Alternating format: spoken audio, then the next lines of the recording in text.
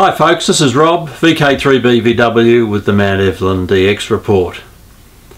Today we're going to look at uh, installing a DC plug and socket kit into the uh, Kenwood R5000 communications receiver. But before I do, I just want to go back to something that uh, uh we covered in the last part, part three of this series, uh, where we installed a, a new filter into the uh, into the rig. It was an AM filter. It was a four kilohertz filter. And uh, somebody asked, and they said, "Well, you didn't tell us how it how it sounded after you performed the uh, the installation." So I can report that. Uh, uh, there was certainly very successful. In fact, the audio was really quite uh, significantly better out of the rig, out of the out of the speaker on AM than it was using the old um, stock standard filter that was supplied with the rig.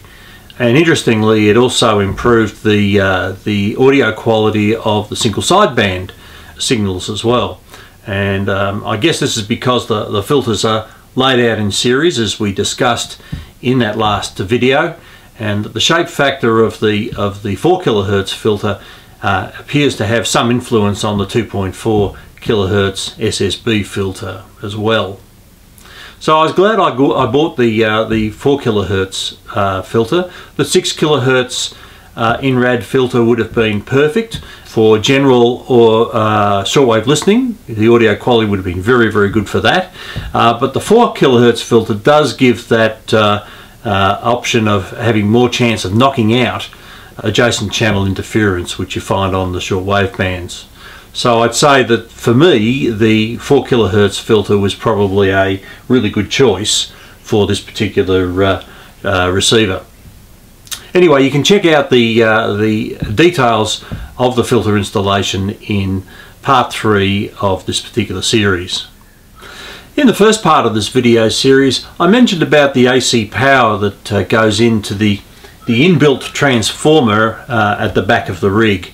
Now, when this transformer's been on for a while, it creates quite a bit of heat inside the, the, uh, the case.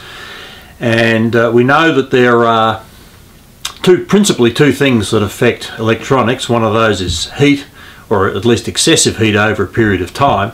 And the second one is dust and dirt that gets into the, uh, into the electronics. And we've found that this unit's had plenty of dust and dirt in it over the years one of the things I really enjoy about my hobby is to be able to go portable and uh, do some um, uh, field DXpeditions and so on, just using portable power sources such as a 13.8 volt power source. Now Kenwood used to make an optional DC plug-in socket kit uh, for this particular rig. Uh, but unfortunately it is no longer available, it hasn't been available for a long period of time.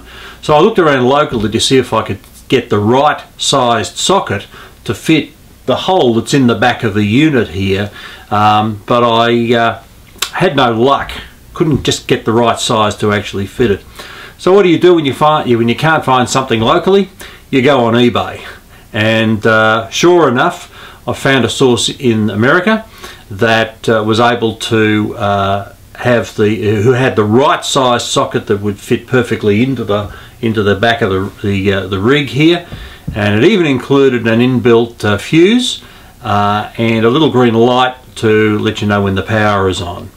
So uh, that's all worked out really really well. In fact the the guy who who uh, supplied all that for us was really really helpful. So let's get started on this little project. The procedure for installing this DC cabling is really very easy. At one end there is a DC 12 volt cigarette lighter style plug and at the other end a simple DC plug.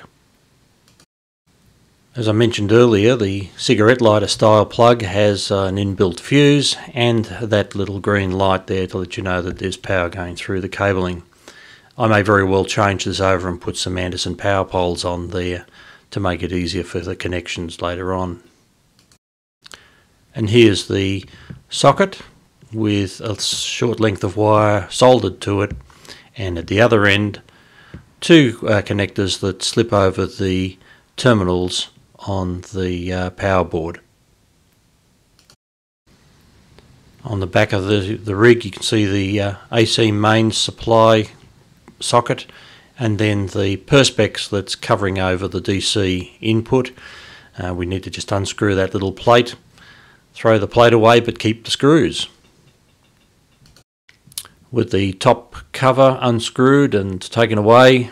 You can see the power transformer there up at the uh, top left and just below that is the on the power board you see two terminals. One's marked white and the other one is red.